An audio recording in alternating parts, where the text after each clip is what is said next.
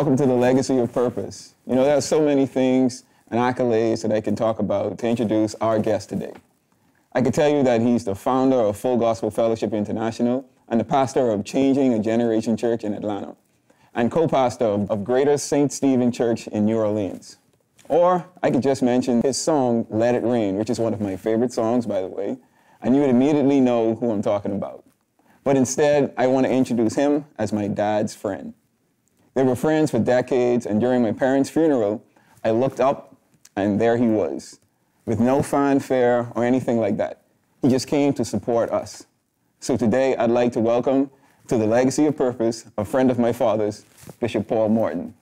Bless you. Thank you for being with us today. Oh, sir. I'm just honored. I'm just so proud to see the Munroes carrying on the legacy. Thank you, sir. Thank you. awesome. You. Thank you for being here. Bishop Morton, thank you so much for coming. Again, it's such a pleasure to have you here. I'm honored. I really, really am.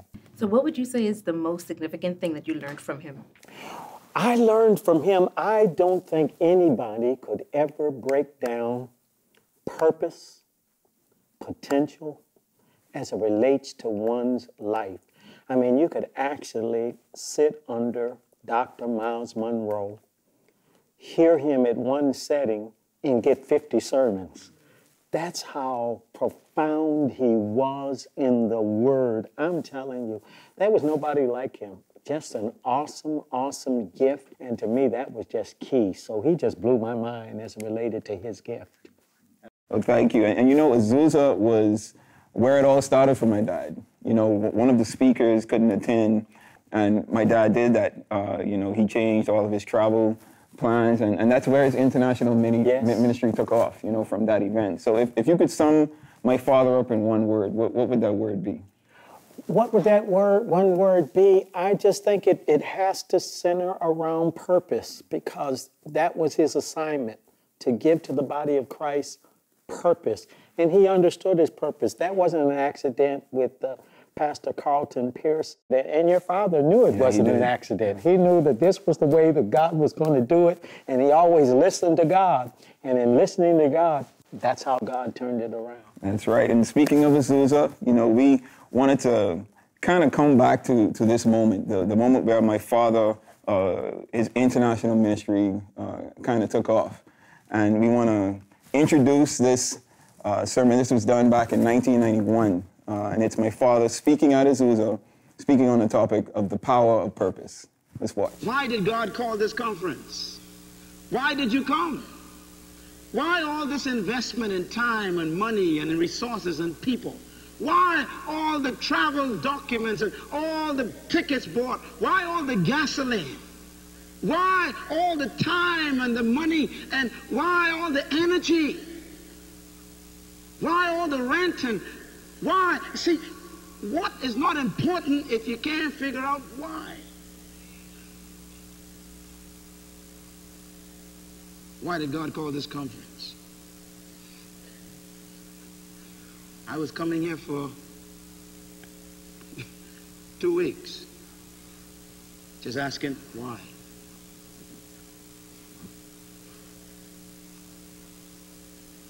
Boy, do I know why.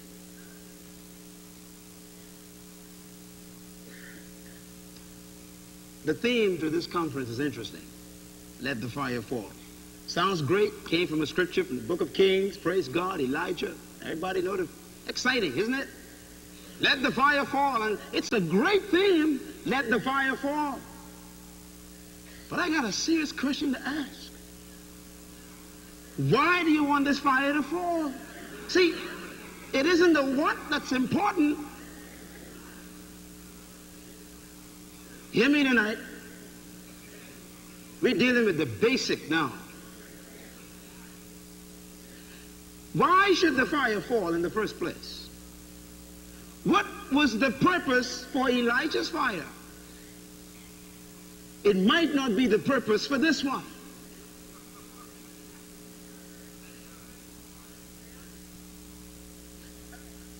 I was sent here. Don't look at the pastor. Look at me. I don't need his approval. I'm sent here by God. I came 2,000 miles over the ocean to see you tonight. One night. I'm leaving in the morning. I got no time to waste. Why should fly fire fall? That's a serious question. It's so easy to pull out themes.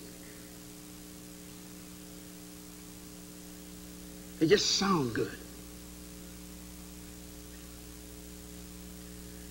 Man, life is too short to waste, brother. We got to find out why.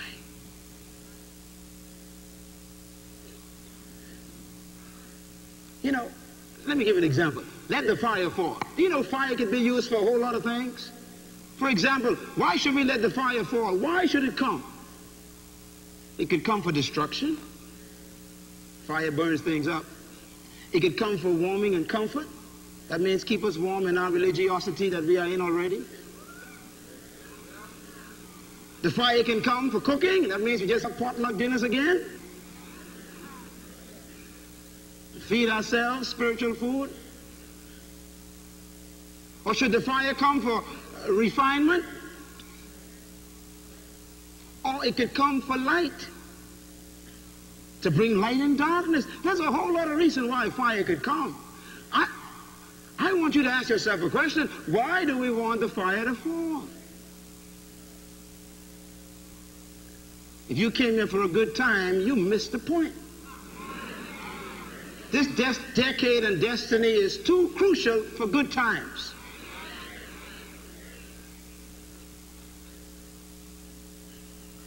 Why do we want the fire to fall? Well, first of all, let's find out where we got that from. We got that from Elijah. His experience with the pagans. The purpose for Elijah's fire, I will repeat, the purpose for Elijah's fire was not refinement, it was not for warming, it was not for cooking, it was not for light, it was not even for destruction of people. It was for demonstration and testimony. That's all it was. Now, is that what God wants now? Don't answer it. Think about it. I don't think that the fire that God called this conference to get is for demonstration. You had enough of that.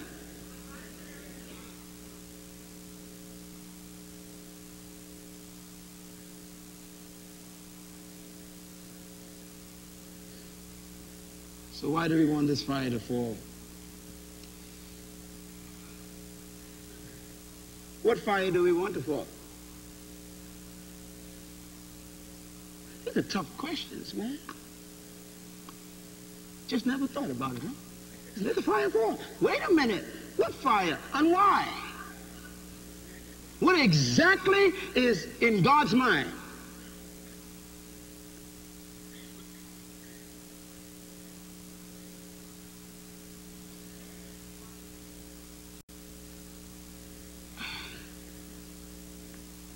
Well, let me ask the final question. For what purpose does God want the fire to fall?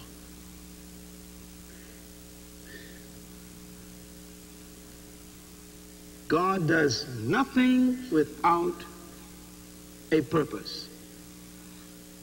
Start writing. God does nothing without a purpose. This meeting is not held for the fun of it. I'm going to give you seven principles before I take you into trouble.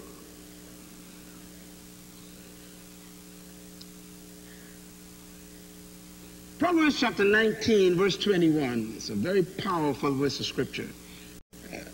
It's, it's a truth that is capsulized. You need to read it. Proverbs chapter 20, chapter 19, verse 21 it says this. It says, Many are the plans in a man's heart. but it is the Lord's purposes that will prevail. Now, when I read that the first time, I really didn't understand. I pondered that for years. Here I go again. Many are the purposes in a man's heart. Many are the plans that a man makes. But it is the Lord's purposes that prevail. That means you could plan all you want. Do all your scheming and your dreaming, your strategizing, all of your analysis and your feasibility studies and go through all the stuff. And when you finish, God says, I ain't going to quit until I get what I want. Let me tell you how serious that is. God is saying, look, let me get something straight with you. If you don't do what I want done, I'll wait for your children. That's what it means. My purpose is going to be done. If you don't do it in your generation, I am not in time. I can wait. You got to hear me tonight. You are at a point in history where God is asking a question. Are we going to go with this? Or am I going to wait for the children? That's where we are tonight. That's why I've come to warn you that if you do not move this time, he'll wait for the children. Not a one minute except a few. And he says, I'll wait for the children. Why? I'm not in time. I got all the time in the universe. God does not think in terms of individuals, He thinks in terms of generations.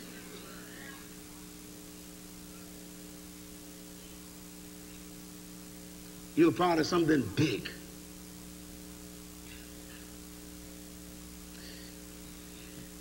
He says, make your plans, but you better find out my purpose first. Do you know something? it is sad. What he's really saying is you could make your plans and go through all of your work, and in the end, you miss it because you didn't do what I intended you to do. There are people who went to college and studied four years and went through all of that work, and in the end, God told them, That's not what I wanted you to do. And they wasted four good years. What God is really trying to say is before you plan, Find the purpose. Oh, please hear me. Wow, the two most important days in the life of a human being is the day they were born and the day they figure out why. And that's purpose. You know, your purpose disciplines you. Once you're in your purpose, there are friends and things that you just don't do anymore. You know, my father believed in influencing governments with the kingdom of God. Uh, what are your thoughts on this, and how do you think uh, he accomplished this in his his purpose on this earth? Well, I think you answered it in what you just talked about. He knew what the kingdom was all about, God's way of doing things. And he was going to fit that in into every assignment that he had because he knew why he was born. He knew what he was called to do. He knew what his assignment was, and he fulfilled it. And you talk about a true, true kingdom representative Dr. Myles Munroe was a good, awesome kingdom representative. Why? That's the question. It would be sad, all the work that the Ministry of Health did, higher dimensions, all the work of the choir practicing all night, all the work of all the committees, all the advertisement and the thousands of dollars that went in on the television and all the different print media, all that stuff, and we up and figure. Purpose. Purpose is the original intent for the creation of a thing that was in the mind of the creator of the thing. I will repeat. Purpose is the original intent for the creation of a thing that was in the mind of the creator of the thing. Purpose, then, basically, in essence, is the reason for the creation of a thing. That's purpose. Purpose, then, is the why for a thing.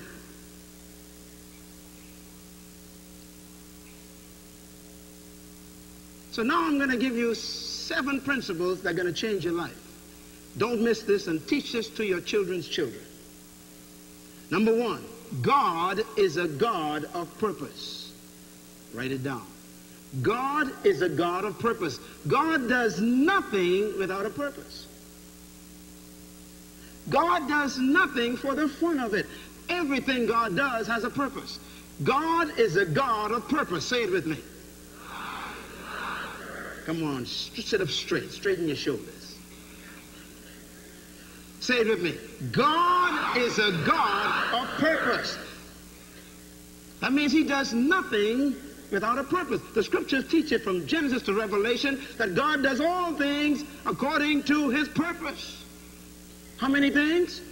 All. That means everything has a purpose. That leads me to my second principle. Nothing in life is without purpose. Write it down. Nothing in life is without purpose. Nothing. Now say it with me. Nothing in life is without purpose. There's a purpose for the roach. There's a purpose for the mosquito. There's a purpose for the ant. There's a purpose for the maggot. There's a purpose for the snake. There's a purpose for the lice. There's a purpose for the fly and the bumblebee and the shark and the fish. There's a purpose for the lion. There's a purpose for everything. There's a purpose for the hair in your nose. There's a purpose for the hair under your arm that you shave off. There's a purpose for everything. God knew what he was doing and he gave everything a purpose. This is serious. Say it with me. Everything in life has a purpose. Say with me, nothing in life is without purpose. Third principle. Not every purpose is known. Ah. I will repeat. Not every purpose is known. Now we got to relate that to all the others. One, God is a God of purpose. Two, Everything in life has a purpose. Three, but not every purpose is known. Now, you got you got to understand this. Everything has a purpose. God made nothing without a purpose. But not every purpose is known. That's dangerous.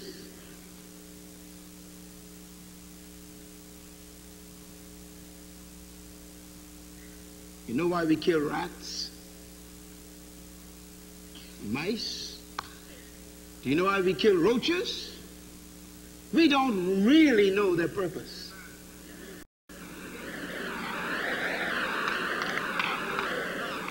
That's not funny. Those of you in this room today who are scientists in the field of ecology, you know what I'm talking about. There are animals that we killed off because we didn't know their purpose until it was too late and it messed up the ecosystem. Now we're trying to conserve and preserve and reserve to try and save some so we could keep the balance. Why? God put them in there for a purpose. Every animal, every plant has a purpose. There's a purpose for cocaine. Don't get nervous.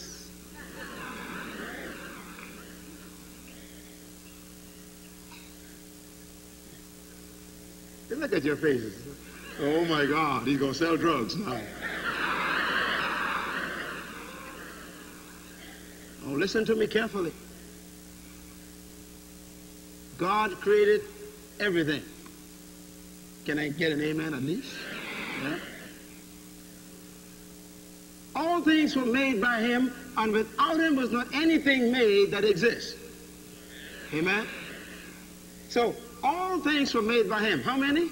All. If he made all, who made the rest? So God created marijuana. Come on, don't get nervous. Say yes. God created cocaine. Come on, say yes. Lord, they're saying it on television.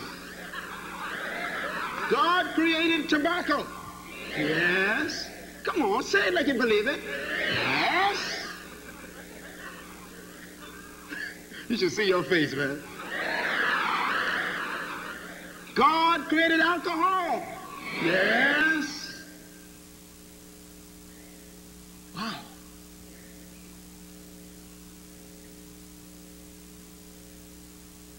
Wow. Now, we know God created everything. And everything has a purpose, but not every purpose is known. So I lead you to my fourth principle.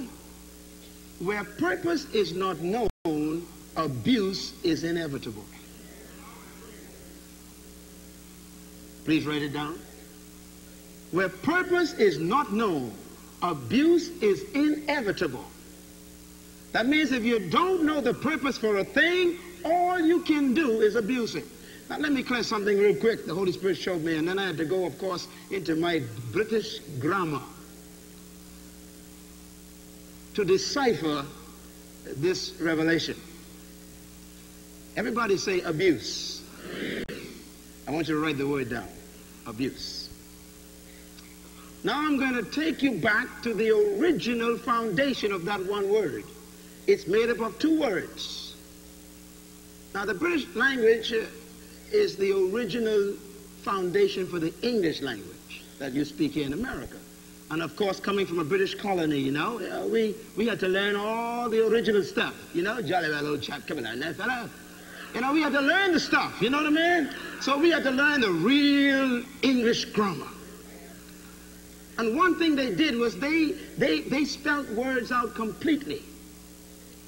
But then as the language progressed, it changed and it became lazy. The Americans helped with that. And they began to squash words. Instead of saying, I am not coming, we'd say, I ain't coming.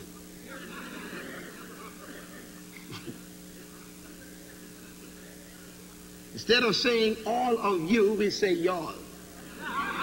You know, we just squash it. But that's what happened to this word. Now, the word abuse, say with me, abuse. It came from two words, abnormal use. They put the two words together and it eventually lost many of the letters. Abnormal use, abnormal use, abuse, abuse. That's where it came from. Where purpose is not known, abnormal use is inevitable.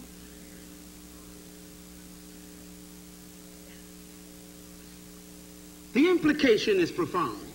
Wherever there is abnormal use, there has to be a normal use.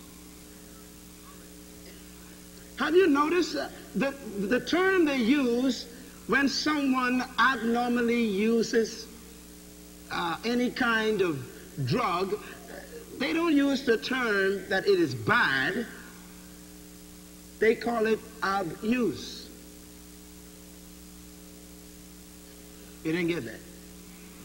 They never say cocaine is bad. They never say marijuana is bad or alcohol is bad. What they say is it is being abused, abnormally used. That means there's a normal use for it. When you go to the hospital for an operation and they got to give you surgery, they, they put the stuff in you.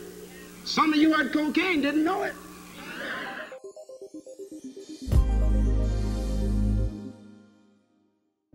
To order today's complete message in a two part CD or DVD set for your love gift of $30 or more, please visit our website, munroeglobal.com, or call the number on your screen. Or for your love gift of $50 or more, you can get today's package deal, which includes the Power of Purpose two part CD or DVD set, plus the accompanying books, Unleash Your Purpose, and the Living with Purpose devotional. Call the number on your screen today. Our team is standing by to assist you. Thank you for joining us today on the legacy of purpose, where my father spoke on the power of purpose. Uh, hope you join us next time.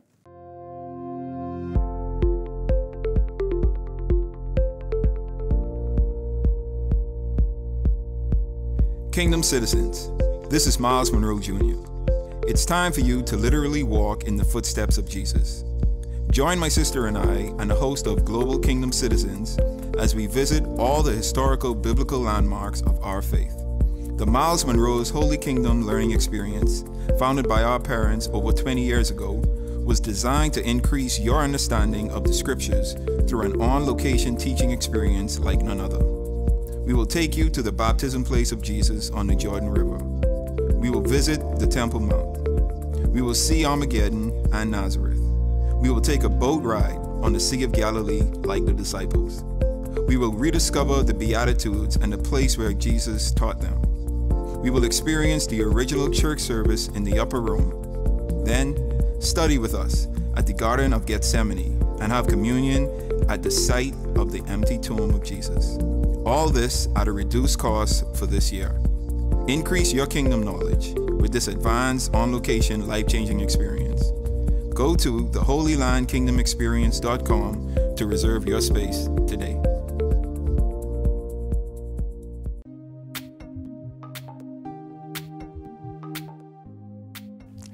My life was being lived through both of my parents while they were here. I took things and people for granted, especially my parents. I never took life too seriously. So now what scares me is failing. But failing is also what drives me every day. Their leaving woke me up and made me realize I wasn't doing anything more than just existing. I've been given so much and I've been blessed to have people in my life that really inspire me and mean me well. I don't take them for granted anymore. I'm aware now, I'm awake now. I'm smarter, and I have no problem making the right decision, regardless of how it makes someone else feel. My parents' death helped me to rediscover my purpose. I pulled off an event last year that I wouldn't even fathom doing two years ago. The attendance may not have been where I wanted it to be, but the vision was established. And I know that the next event will be better and be that much more impactful. All we can do in life is try to be the best version of ourselves that we can be. We just give it all we've got and hope for the best to happen. Positive thinking and positive attitude goes a long way. Never forgetting to enjoy incremental success. My parents leaving helped me realize that when you go, you leave everything behind. The key is to make sure that whatever you leave behind continues to impact, inspire, and expand. Feed your fear with faith, and then legacy happens. Think about it.